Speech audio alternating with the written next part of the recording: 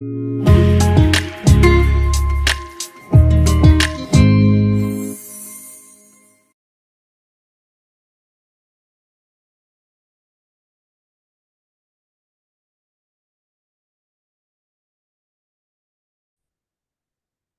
off we go. Perfect. Thanks, Charlotte. So, uh, I'm... Hi, everyone, Mat Langley here. I am having two hats today. So one is that I'm a co-chair of the Scope 3 Sustainable Procurement Pledge, and the other one is I work for CBRE in sustainable procurement.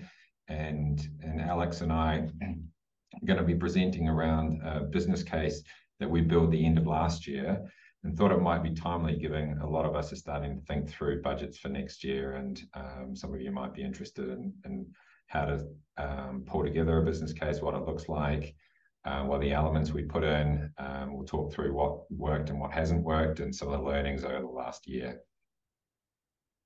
But yeah, any questions, just um, uh, jump them in the chat or ask them as we go along. Might prefer to do that rather than save them all to the end. So that's kind of a quick intro on myself. Alex, do you wanna introduce yourself? Sure. Hi, everyone. I'm happy to be joining you today. So, um, I head up our supplier sustainability team in CBRE, and my team has uh, two main focuses. It's uh, firstly, being able to demonstrate to our stakeholders the degree to which sustainable management practices are being deployed along our supply chain and operations. And the second is, very simply, decarbonizing our supply chain, um, which is a small sentence, and we're gonna tell you a little bit more about um, some of the challenges that we've overcome, uh, or that we've yeah noted along along our journey so far. Um, my background is, um, I've been an active supporter of the SPP personally, uh, for some years before joining CBRE last year. And I've worked in sourcing and procurement for over two decades, and increasingly weaving in um, sustainability as a focus area into my work over the last six years. Perfect. So with something like this, it's not normal that you go from having nothing to to then being able to build a business case around decarbonizing your supply chain. So so at CBRE, the journey for us really started um, in 2018, when I got um, a global role focusing on Uh, the procurement technology, operations, um, and data. Um, so that was in 2018. And we added in uh, risk and um, transformation, and I added in ESG as part of that roadmap. And so I quietly just built it into the technology roadmap, the data roadmap, and and so in 2019, we partnered with EcoVadis, as an example. We had the unfortunate incident of George Floyd, and um, and so we had a supplier diversity program kind of be agreed at a global level, and we started partnering with that. And So we really had sustainability and um, diversity, a supplier diversity working together. And then from a risk perspective, we also started building out um, the responsible procurement aspects around uh, the inherent risks in your supply chain.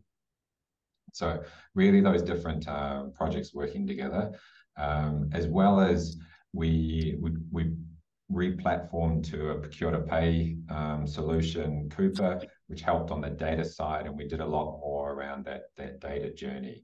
Um, and not only data around our spend data, but also engaging around our suppliers, so understanding a lot more about our suppliers, um, and the contacts within those. And you'll start to see that really this is a data journey as much as it is a supplier engagement journey, and that um, uh, they're really getting the basics around knowing your spend knowing your suppliers, understanding how uh, services heavy or purchasing or products heavy it is. Um, and really, the better you can you can um, have those types of early projects, the the better you'll be set up with the foundations for for further on. So continuing on the journey, then about 2020, into 2020, we, CBRE brought in BCG. Our global board wanted CBRE to be more of a sustainability leader in the real estate space. And so there was a consulting engagement around sustainability, Um, at the same time, we we had a consulting engagement with BCG around procurement, and I sort of pushed those two together to, to show that there there is a sustainable procurement um, uh, area that we needed to work on.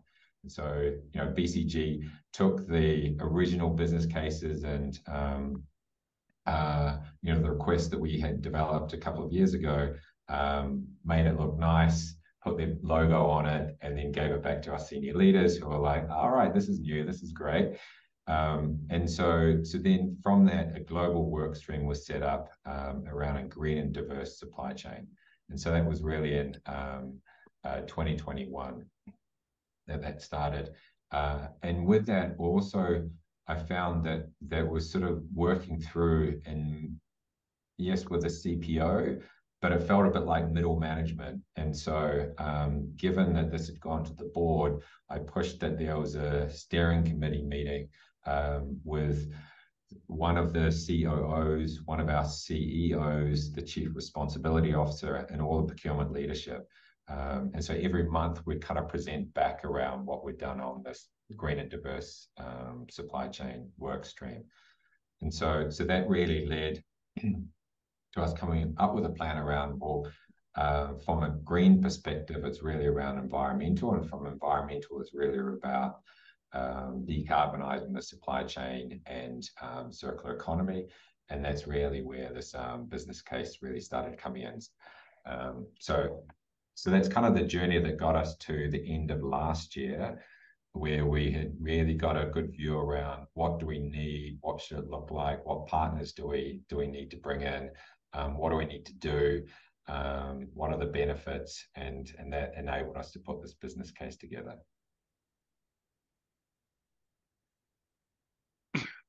So really started with, um, we are sort of following what, what Alex had um, found uh, on the Gartner um, uh, best practice around building a, a, business case. And, and they start with, well, what's the issue? and um, you know what's the problem you're trying to solve why are we trying to change you know why now and so um, we didn't really use the structure when we built the business case but we're finding it useful um, in the way to present it to you today um, because it kind of fits with with what we ended up doing alex do you want to this was your slides jump into right sure yeah, so this is one of our one of our busier slides with with a little bit of data. Um, but what we're looking at here effectively is some of the analysis that led us to um, set the foundations basically for the the business case uh, structure that we're um, going to be talking about today. And basically, you know, going back to those three questions: what's the problem? Why now? And and uh, why do we need to change? Um, well, the problem is we need to decarbonize our supply chain, and we need to go as quickly as possible to meet our net zero commitments. And what you're seeing here is three lines, three glide paths that show kind of three different scenarios in terms of why do we need to change. Um, so the lowest line that you're looking at there is like a theoretical perfect net zero glide path by having our emissions by 2050 um, and um, meeting uh, 90% abatement by, by 2040. Sorry, excuse me, 2030 and then 2040, because um, those are the commitments that CBRE made. And then the other scenarios that are there in terms of the lines are, um, you know, the, the, the impact that we would have uh, by applying different different levels of resources and different speed, if you will, um, to that decarbonization uh, uh, path. And so effectively what we're trying to do here is we're trying to minimize the area under the curve as quickly as possible um, in terms of, of those lines. And in order to do that, what we um, analyzed was that there's uh, a, uh, a rate at which we need to engage a certain critical mass of suppliers in, in order to be able to, um, you know, go along um, the most optimal glide path um, ahead of us. And based on, on some of the analysis um, that we pulled together um, at the time that we were pulling the business case information was um, amongst the 130 plus thousand suppliers that CBRE works with, there's probably 7,500 that are the most material um, and uh, while that seems like a small proportion of our overall supply chain, that 7,500 is a huge number compared to most um, organizations in terms of their supply chain engagement. Um, and so, you know, why, why do we need to change and why now? Those that whole those those answers become much more obvious when we understand all of those uh, points that I was just talking to is that we need to engage at scale quickly um, with a lot of suppliers and uh, and bring them up to speed in order to be in uh, in any position to be in, in uh, to enable um, a supply chain decarbonization journey. And that's why you know, we start seeing how that data journey and the supplier engagement journey um, starts to come to life. The, the, the, those two elements that that Mat um, has been talking us through so far. Um, so th this is in terms of you know the basic um, high level picture, I guess you could say that um, has driven a lot of our uh, uh, our talking points with our stakeholders um, around the organization. And if we go to um, maybe the next slide, what we can um, see. Sorry, Alex, can I can I just jump in here? Because um, I want to add a couple of extra. Sure, points. go ahead. So um, so one is around um, you know identifying the number of suppliers. Seven thousand five hundred is a large number. We haven't come across any other company that, that's had that many. Um, if you look at the program Schneider Electric's put together, they talk about 1,015. Um, then, you know, Apple has about um, 300 suppliers they're engaging with. Most companies are about two to 300, sometimes up to a 1,000. Um, so, so that's um, a lot more. And I talked before around how we spent a bit of time getting our spend data right. And then we played around with emission factors um, because there isn't a spend to emission factor one to one depends on the industry and uh, what the supplier is performing for you. And so there are separate sessions within the uh, SPP scope three where we really go into the detail around the data, emission factors, and how you can kind of come up with these numbers. Um, but my final point to me, this is my Everest slide that um, when we put this together, it was like the clouds parted and I looked at Everest and then I looked at what do we need to do and it's not that we're in base camp looking up at Everest. I didn't even think that we were really in Kathmandu. We, you were kind of at home thinking like, oh, this might be another great idea. What what should we pack? Um, because you look at just what you need to do, and actually the timelines. Initially, I was like, well, you know, CBR is net net zero 2040. That's 17 years away, and we're all good. It's a long time. I'll probably be retired by then. You need to worry about it. But then, you know, we break down to 2030 commitments and then um, uh, how long it takes suppliers to, to decarbonize. And suddenly it becomes super real um, and what you need to do today. Um, so, yeah, I just wanted to add that. Yep, absolutely. Um, yeah, so this is, I mean, a view of, of, of our business internally. The colors basically on, on the different pies um, talk to different lines of business or different ways of splitting our business across um, uh, internally. But basically, the story that we brought to life was um, to our stakeholders uh, was look, we have almost 10 million tons of emissions sitting in our um, supply chain. 90% um, of that is about 9 million tons of emissions. Um, that maps to about 7,500 material suppliers. And if we're able to address um, those 90% of those emissions, we're also going to be, if you will, affecting about 47% of, of our spend. It's about half of our spend in terms of the orders of magnitude. Um, and those those relationships are um, directly related to about 7,000 of our client relationships um, on a on a day to day basis. So just the, the, the picture that we're trying to drive here is that it is um, across the board transformational. We can't do um, you know, a net zero decarbonization project or a supply chain decarbonization project just by focusing on a subset of, you know, particular um, clients or a subset of particular suppliers. We really have to be thinking about um, it as, as broadly as, as, as possible um, across the business. And so um, that's a, uh, bringing that those types of orders of magnitude up to the steerco that Mat was talking about before um, are uh, were important elements in in bringing to life the why change, why now questions that we were talking about before. Um, and so, yeah, one of the next um, questions that we were grappling with was, you know, what's the benefit um, that we want to make sure that we're um, conveying from a from a business perspective? And um, you know why potentially is this more valuable than than, than other opportunities? And so um, i think the next slide that we have here matt is one that uh, that you wanted to talk to in terms of how we pull together different levers of benefit to um, illuminate that storyline for stakeholders.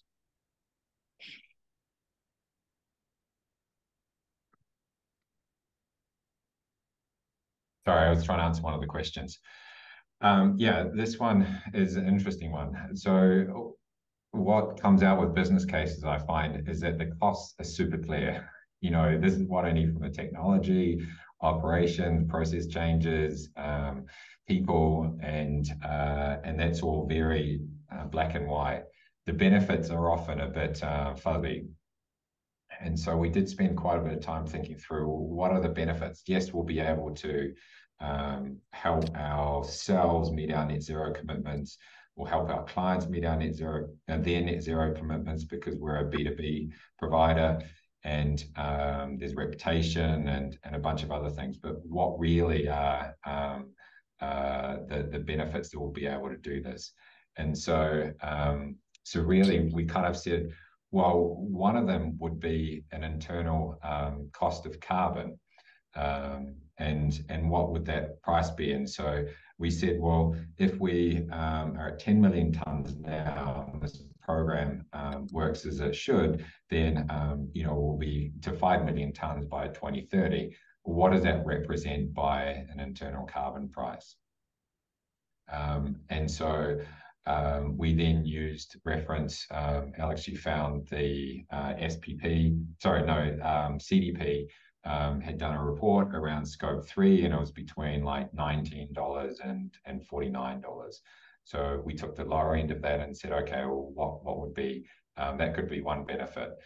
Um, and so really looking through um, would mean we wouldn't need to offset. It would mean that we wouldn't need to report as much for regulations, um, and it would mean that if they certain areas of our organisation um, were caught up by the carbon trading schemes in New York and California and and in Europe and parts of Asia, then we wouldn't need to pay nearly as much.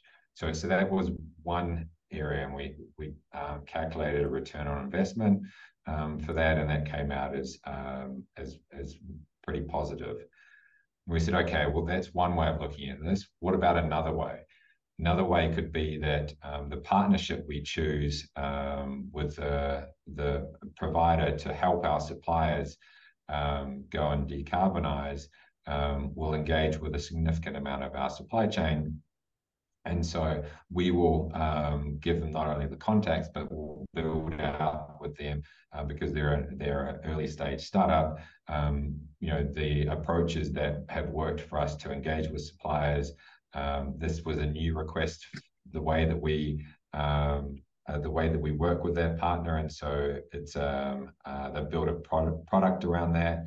Um, and so, what if we uh, do something that CBRE really doesn't do, but do a strategic investment um, uh, in that supplier?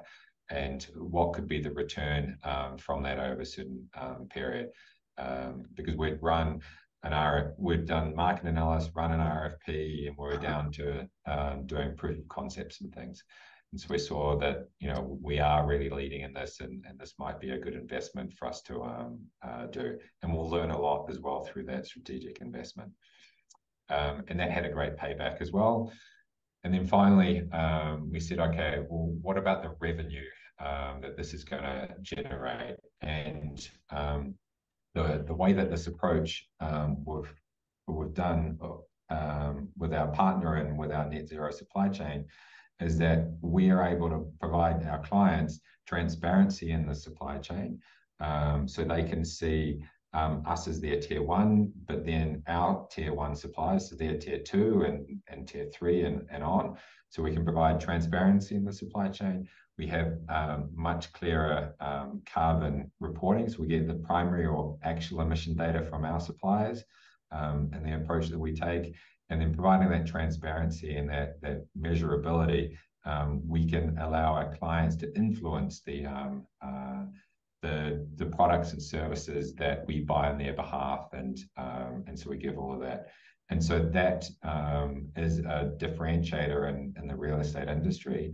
Um, and so there's some revenue attached to that. And I think we put in like 1% or something from where Alex is super small amount um, of revenue growth. Um, and then we, um, but then if, if that um, client then wants to move to a competitor of ours, then they lose all that transparency and ability to influence. Um, so we're able to tie it to to revenue.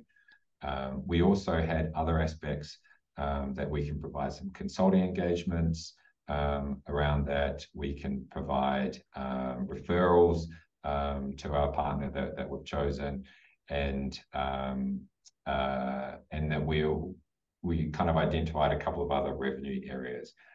So so we looked at these and we looked at the different return on investments and um, we kind of said, well, each of them alone actually stands up, um, but by bringing um, three of them and, and building three into the reporting, uh, the business case, then means that um, it sort of makes this feel a lot more real from a benefits perspective. Yes, the, the cost is super clear, black and white, but the benefits, you could discount one of these, but you can't discount all three. Alex, anything else you want to add to that? No, I think that yeah, um, the the the fact that we were able to um, yeah really look at each case individually and then pulling together those three cases together really helped us to yeah drive that conversation internally um, and and show that we've been creative in, in, in, thinking about things and bringing bringing those different angles in um, and demonstrating the value across the board. so obviously one of the main questions that um, came up internally is well this all seems maybe like a, a good plan uh, but how much is it going to cost and you know what kind of resources um, are, are we going to need to carry this off and so um, what we did is we tried we we looked at uh, we looked at the big picture. We looked at um, you know from a sustainable procurement aspects um, you know really strategically. So we identified four key uh, focus areas from a strategic perspective and mapped really clearly you know programmatic elements and, and specific actions that we would be taking and, and, and then tie a specific financial impact either um, a cost avoidance or a revenue generation um, you know number to each one of those uh, specific activities and then we're able to total that up um, did you want to add some some comments here matt no, I, I think well, a key one would be that that we really thought through the different elements um, that we would require and um, and sort of built it through. And, and you can see design for circular uh, circularity and and zero waste. And that was actually looking a bit further ahead in our mind that some of our clients have um, net well sorry waste goals around um, waste to landfill and and so focus on that a, a lot don't um, but what we see is that when carbon starts having a value uh, and you own um, you know furniture or um, you've got a fit out in a building if you just pick all of that up and throw it the landfill it's not only lost um, cost in doing that but a lot of companies have already, uh, from a financial perspective, have already written these off anyway. Um, but you lose the carbon with that too. And so when you buy something new, you're buying a new product and you're buying the carbon that goes along with that too. Um, and so if you're able to um, repair or, or, reuse some of your um, fit out and, and furniture um, in our world, then you would um, not only save some money, but you'd save that, that carbon emissions as well. So we're, we're kind of just thinking through what only do we need to solve for now, but but what are some of the other things that will come up be important too. Yeah, and how they all kind of interact with each other. Yeah. Um. So yeah, and then we we basically are, are are in a position now to talk to you about you know the the steps that we think are necessary for success and some of the pitfalls um, uh, to be avoided. Um, so you know, obviously we're talking about you know implementation over the next couple of years um, and um, some of the early learnings that we've already been able to to generate from um, going down this path with our supply chain partners uh, to date.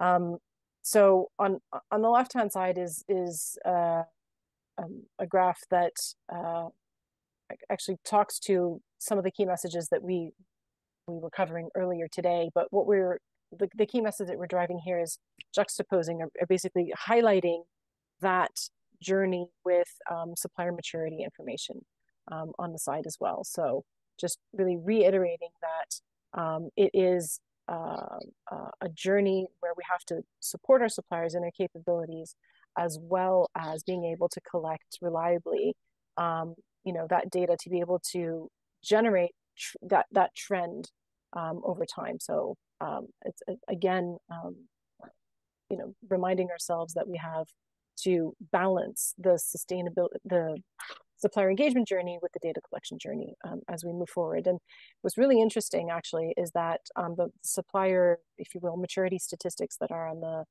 right hand side of the screen were um, pulled together by the EcoVadis and the CDP a couple of years ago.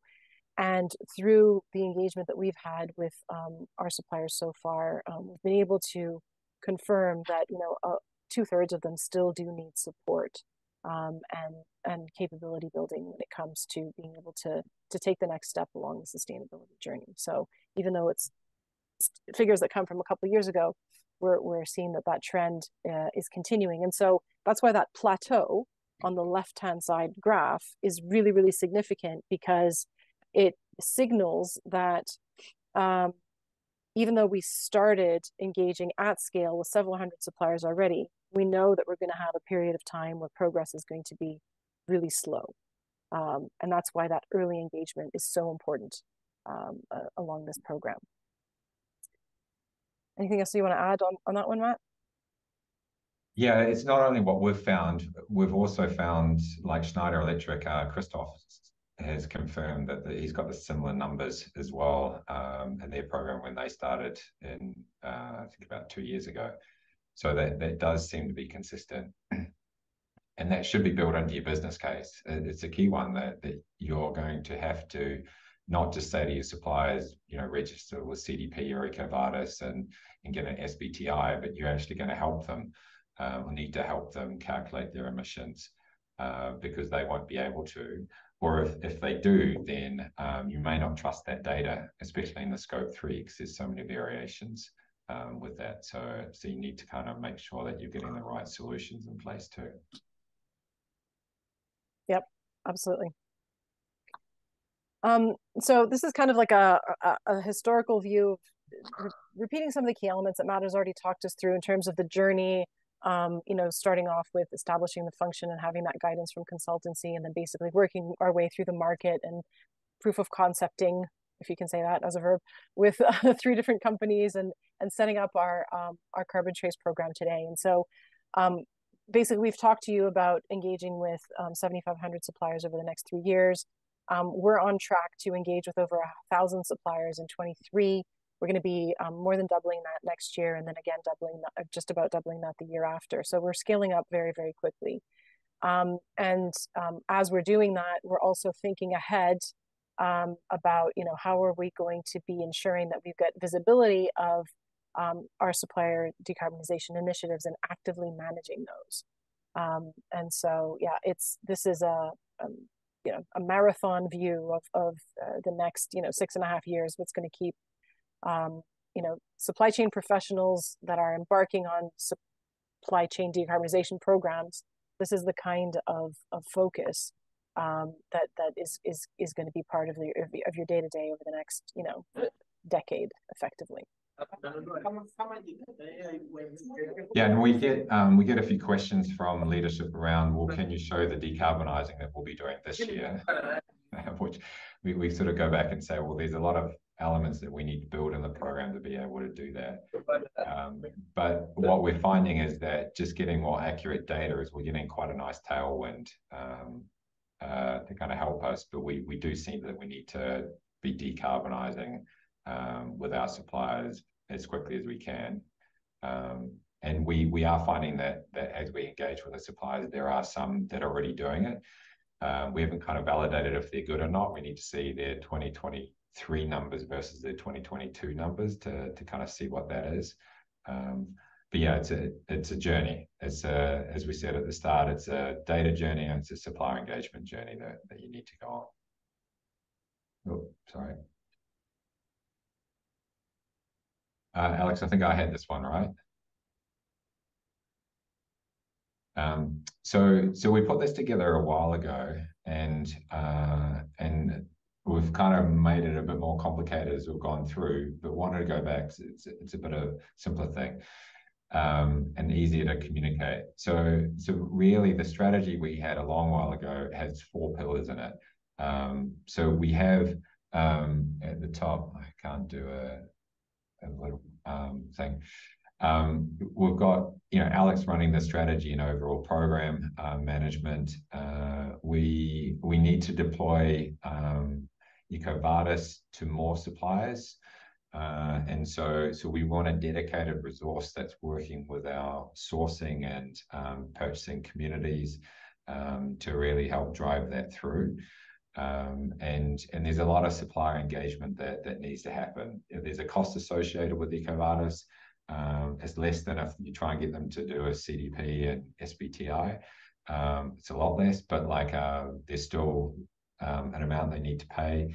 And in some ways, um, it's a test as well for for some of our suppliers that if you're not willing to spend 500 to, to 2000 to register with with EcoVadis and go through this process, are you really willing to spend the, the amounts needed to uh, to decarbonize yourself and your supply chain? Um, and then in the middle, we've talked a bit about that, our project Carbon Trace, um, and that's really our partnership with with EmitWise to reach out to our suppliers to calculate their emissions and really go through that, um, uh, that measurability in that process. Um, we need to um, have a pillar around our internal engagement and client engagement. So between the, the team, we're probably at least doing a, a client call every every week, um, all of us, sometimes more, to kind of talk our clients through our approach. because I've got their different views uh, and in some ways, by getting in early on this, we're we're able to change some of their thinking to align with us, so, so, we're not having to get a huge number of different um, questionnaires or, or, elements we need to work with. Um, but also, we need to get an internal engagement, and um, that can be quite quite difficult as well, um, because we've got a thousand procurement people, and we've got 30 or 40,000 people that are all purchasing at the moment. Um, so we need to le leverage the procure to pay technology with Coupa and identifying diverse and supply or have diverse and sustainable suppliers um, registered in there. Um, but also to kind of explain um, pretty difficult concepts in, in easier ways. So, you know, we've been partnering with the Supply Chain Sustainability School for a while and using their training courses. Um, and now we're kind of developing our own ones as we um, develop our, our own net zero supply chain product. So that's a key pillar around that internal and external engagement. Um, and finally, one that that um, we've we've really been working um, a little bit on this year, but need to do a lot more, is around the supplier outreach program. So so with um, Project Carbon Trace, um, and EcoVadis and uh, the sustainability assessment, we can get an idea of the maturity of our suppliers and where their emissions are. If they're a cleaner, it might be 50% in scope one and two, um, and 50% in scope three purchasing.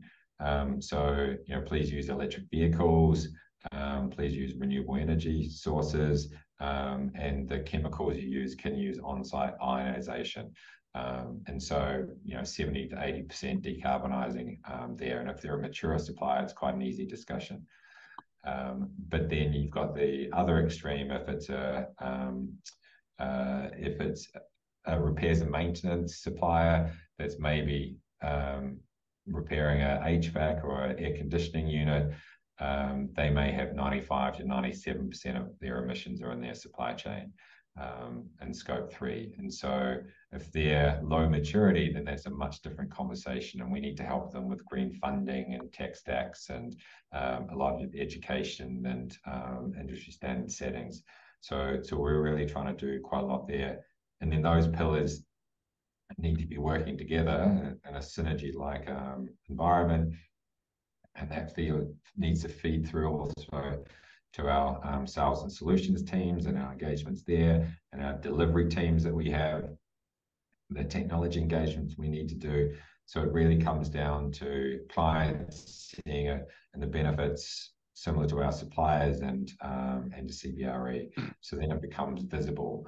Uh, but there's a there's a lot of um, uh, engagements and work that needs to happen for for it to become visible um, for those different groups.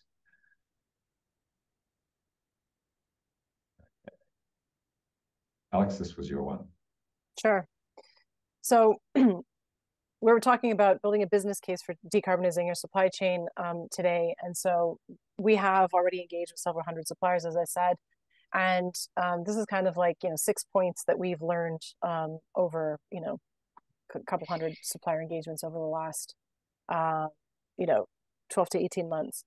Um, one of the key uh, value adds that this this process and this uh, journey, if you will, is is driving for CBRE and for its clients is our ability to decouple basically emissions growth from business growth, um, and more downstream our value chain. So when we're engaging with um, with our clients, um, it brings to to to life basically um, the value of this upstream supply chain um, engagement. Um, and that's a message that we found is, is resonating very, um, very strongly um, down, you know, downstream our value chain. Um, uh, it is the, the second key learning is around um, being able to obtain that uh, sub tier in, in, your supply chain emissions transparency. Um, it, it we believe that it's the key to unlocking um, really that scope three change rapidly because we're all now uh, when we say we're all uh, so we see BRE as as a as a as a client to our suppliers and our suppliers uh, working with us have this share the same data um, and we can have you know productive and value added conversations around the same data there's there's the hotspots are clear prioritization is clear and we can focus on um, driving those decarbonization um, initiatives. The third piece that um, has has really uh, shone out at us over the last um, little while is around data quality. Um, I think you know anybody who's paying attention to sustainability legislation is um, is is aware that third party verification is is becoming important, and auditability of data is, is becoming key. Um, and uh, the approach that we've taken, bringing a standardized methodology and a data quality score, if you will, to our supply chain uh, data is extremely valuable, again, when we're having these conversations with other stakeholders along the value chain. The fourth piece is one that um, uh, is particularly important to, um, you know, I, I guess I guess the procurement community, the supply chain community, but also anybody who's getting their head around, I guess, emissions um, measurement and management uh, for the first time is that there is some volatility, if you will, in in um, inventory numbers or baseline figures, depending on what stage you are in in, in your journey. And um, our fundamental uh, belief is that that volatility is not a bad thing. It is actually a good thing. The more you refine the data that you have, the more that you work through um, improving your methodology and standardizing your methodology, you will uncover, um, as gen as a general rule, uh, uh, a trend towards you know more precision. But there will be some outliers out there that will give you good indication that you know this is um, a hotspot or a priority that you didn't know about before, and that you do need to focus on now. And so you know the fact that um, that overall supply chain baseline or that scope three baseline may change is is not necessarily um, a, a, bad thing. Um, the fifth piece that we wanted to get um, a, a, across today is that um, one of the main drivers why yeah. we've. Sorry, does somebody have a question? No. Okay, one of the main drivers that um, that pushed us to to bring this uh, this method to our supply chain is that we realized that you know there is programs out there excuse me there are programs out there that are like you know publicly disclosing emissions information but that's only the tip of the iceberg and, and giving us a really limited view of what our suppliers are actually working on because when we've engaged with them much more intimately we've uncovered that almost a third of our suppliers are thinking about or have already implemented um, some decarbonization initiatives and so you know you we really do need to have that um, supplier engagement journey activated in order to get the value of that information. Um, and then the last piece is is around you know um, some some organizations are taking the view that you know we're, we're going to try to uh, collaborate with with our value chain on a voluntary basis, and that is uh, uh, you know one of the ways of doing it, um, and and I think a helpful way to to start. Um, and what we're seeing is that that voluntary engagement is only going to get us so far. Um, you know, we've been talking about um, that number of you know 7,500 suppliers over the next three years. We're starting to see that there are there's a, a proportion of of those suppliers which will be um, uh, difficult to reach in terms of enabling that conversation and making sure that they're receiving the messages um, around the fact that you know we're coming to them with not only an ask for more data but also um, an offer of, of capability building. Um, and so you know being a little bit you know slicker with um, some some KPIs around uh, commercial uh, you know points between um, ourselves and our suppliers I think will will help to um, address that gap um, you know over the next couple of years. So I think those are the kind of like yeah key learnings that that we could um, share today um, after having gone through gone through this process. There have been a couple of questions in the chat which I think we have gotten to most of them. Uh, um, Alex, let me just just want to add a comment, um, and then we can go to the questions. So I think that the um, the last point, I've had questions from senior leadership around, well, can't we just rely on the countries and their net zero commitments um, and plans?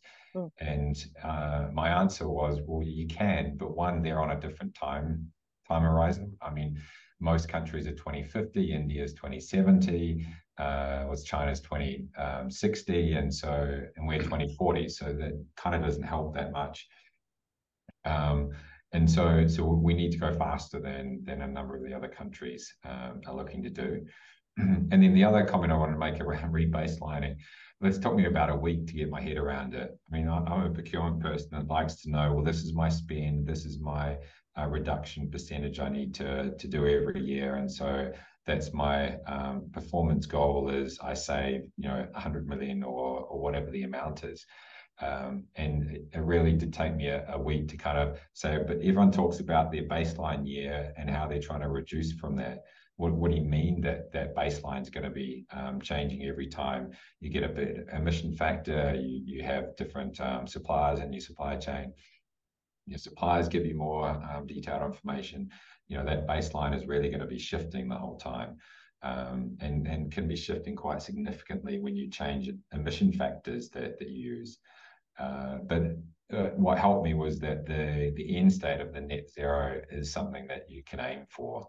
Um, and so, you know, how do you kind of get to to that end state um, and just let the baseline kind of go as it, as it does and um, becomes more clearer um, as you learn more and um, and then you know hopefully it, it um, tracks down.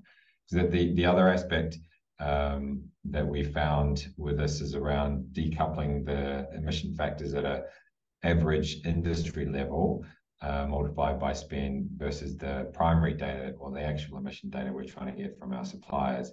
Because if you just rely on the standard emission factors, um, as you spend more, your emission goes up. So you might spend more on a more sustainable product and your emissions will go up if you're using averages. So you need to be able to get down to the actual emissions as Alex was talking about, the first one, decoupling emission growth from business growth.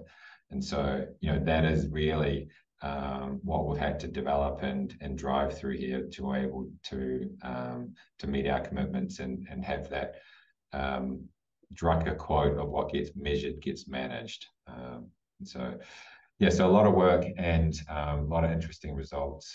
Um, yeah, let me stop that and see what questions we've got.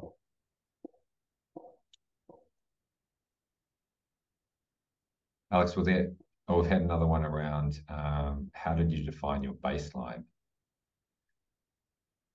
So um, yeah, that's been an interesting process. So uh, what we did was uh, we spent you know 2018 um, and 2019 getting our spend, um, the name normalization, the spend categorization as good as we could, And then um, we started playing around with emission factors. So um, we'd done some, um, we'd put some numbers into the corporate responsibility report. And so we had emission factors provided to us by the consultants um, for the US EPA EIO, um, environmental something input output. Um, and, and so we started with that, which got us to about um, 8 million tons in our supply chain. Um, but we didn't like that they um, were at a global level, primarily US focused. Um, and so we moved across to another one called the WIOD, the Worldwide Input Output Database. Um, and that moved us up to 10 million tons.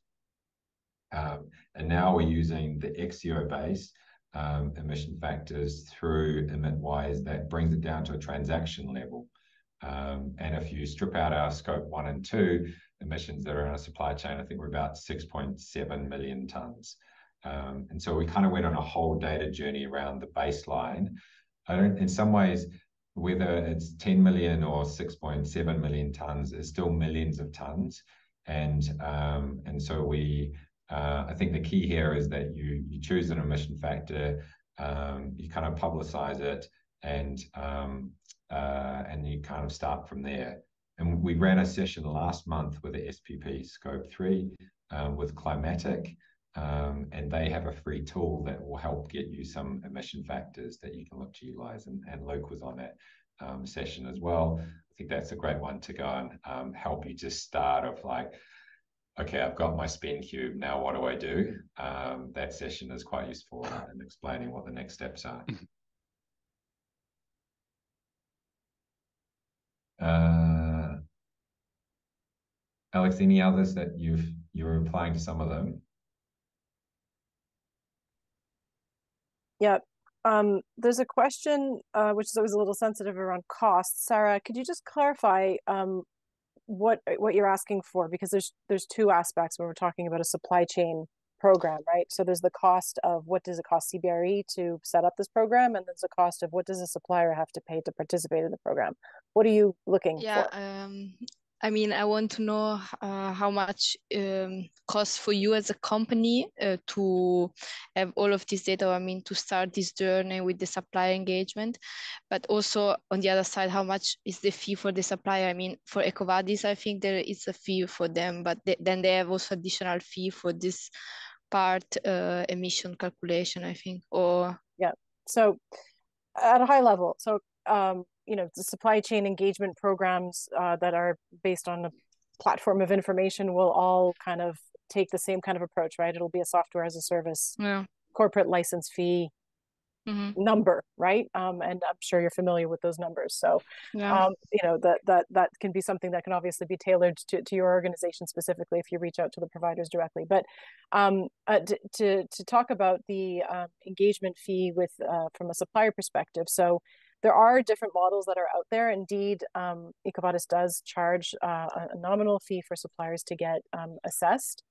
Um, however, when we talk to our suppliers around the EcoVadis program, we're ensure we make sure that we underline the fact that it's a it's a co-funded uh, program. So we do pay an enterprise fee to um, to EcoVadis to ensure that we have access to the platform and all our users can get in mm-hmm. the platform and everything. Um, and what we're what um, made the decision of doing a few years ago is they used to offer this assessment free of charge, and they realized that what is free sometimes is perceived as having no value or limited value. So that's why they started charging a couple hundred dollars to maximum a couple thousand dollars, depending on the market and the size of the company, for the tailored assessment that the company is receiving. Um, you know in in in large multinational companies there's many different you know compliance programs that are being rolled out and sometimes they do have a fee and sometimes they don't. And so we took the the decision for um, our carbon trace program to not uh, charge our suppliers anything. And so it is a completely free of charge possibility okay. for them to build their um, capabilities. And it's mainly because um, we wanted to accelerate as quickly as possible that visibility to um, you know really granular level supply chain information. Um, now I've just told you the story about EcoVadis and the perception of value, and I'm telling you that we're doing it free of charge. So it's kind of like you know what is the right answer? Um, I don't think we have, you know, a magical silver bullet answer, but mm-hmm. um, you know, we're able to talk to um, the reasons why certain programs are set up in the way that they are, and certain certain are free for the supplier, and certain certain um, aspects of them are, are there is a cost associated. Okay, uh, thanks. We did find in the, the last results that we did, we went out to 325 suppliers. Um, 98 went through the process. Um, 54 of them, I think, that we improved their um, uh, their calculations um, in scope one and two, and 17% of that we actually calculated for the first time, and then 80% of the um, suppliers we calculated their scope three for the first time. Um, so, so going back to that slide that Alex had around, you know, what was the research and what do we find? Yeah, we, we do get some nice comments back from suppliers, which isn't always um, normal when you're rolling out something to them that they need to do some some work. You often get pushback, um, but the appreciation that we're not asking them to fill in a hundred question uh, ESG questionnaire um, that it's it's only a couple of questions and then they load up their spend cube and, and they get the results back. Um, so it's a lot less for them um, if they have that available. Um, and so and then we come back and we show them the results sometimes for the first time that they're they're seeing that. So uh, it, it's a we're, we're trying to help them um, and some of them are picking it up um, and some more will need to do more engagements. Now, I just want to sort take the opportunity to, to, to kind of clarify some of the, the questions that Marjolaine was was raising around, you know, so what are we collecting and what are we reporting? What are we baselining? So, um, our the you know when when CBRE is thinking about their supply chain emissions, we're on our corporate responsibility report filling in the line, if you will, of CBRE's scope 3.1 and 3.2, right? So we, we've kind of, like many companies, put those two together um, and our supply chain emissions get reported at that level, right? But when we engage with our suppliers, Marjolaine, we're asking them about their entire emissions. So we're asking about their scope one, their scope two, their scope three, so that we can then distill um, uh, that information and, and focus on, um, uh, you know, the the most viable options, if you will, or the the most obvious hotspots of emissions for that particular supplier. Um, so it does get confusing because our scope 3.1 is there, all of their scope, you know, it, it, it, it, is um, the nature of uh, indirect emissions is that, you know, another party is directly contributing to, to a line on, on, on your inventory, um, you know, but um, yeah, just wanted to clarify that, that we're asking them about everything, but then that translates to only two lines in our um, overall reporting that makes sense. Yeah, and the follow-up question is, yeah, the 50% reduction by 2030 is for CBRE scope one, two, and 3 mm-hmm. Um, and and just to add complexity for Alex, we're actually for the suppliers we asked for their scope three upstream. So um, I don't know if people have much knowledge about scope three, but it's helpfully the everything else bucket, and it's got 15 different areas. Um, and the prime, the largest ones are really the purchasing, which is an upstream, as well as like um, some logistics and travel and other things. And then the downstream is like your use of products. And so if you ask for your supplier's use of products, um, you'll in effect double count because in our CBRE's use of products, it includes our clients' buildings and the emissions from our clients' buildings, which they should already be counting. Um, and so, yeah, you, you, have to be a little bit careful what you're asking for. Otherwise, you can get a lot higher emissions than, than are really there. Um, but it also means that um, hopefully you're kind of realizing that you do need to upskill yourself a bit on this and you do need partners that can help you. Otherwise, it um, uh, can get quite confusing. And you've got some things where you need to debate with, with people who, who understand this to kind of see what, what needs uh, what, what's required in your situation.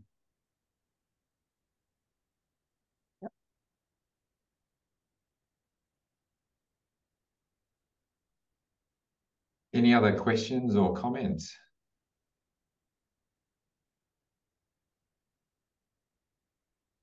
Okay, great. Well, um, happy that you reach out or there's there is a the scope three uh, SPP scope three LinkedIn. You can post some questions there and we, we look at that every once in a while. Uh, otherwise, thank you very much for attending and um, hope you found this useful. Thanks, Mat. Thanks, Alexandra. Thanks, everyone. Thank you. Yeah, brilliant. Thank, Thank you. you. very much.